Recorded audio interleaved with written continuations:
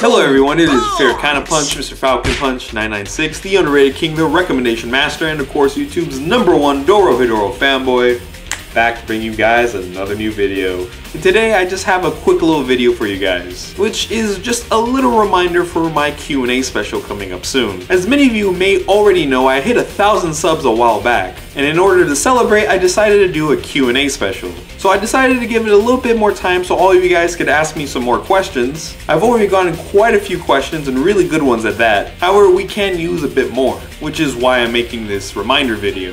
So if you haven't already, be sure to ask your questions for the Q&A special, which I'll hopefully either do next week or the following week. Now remember, the questions can really be about anything, and also please remember the three question limit per person. And like always, I am Mr. Falcon Punch, 996. Be sure to like, comment, subscribe. If you haven't done any of that yet, you will be Falcon Punch in the face, so you better do it. And I'll see you guys next time.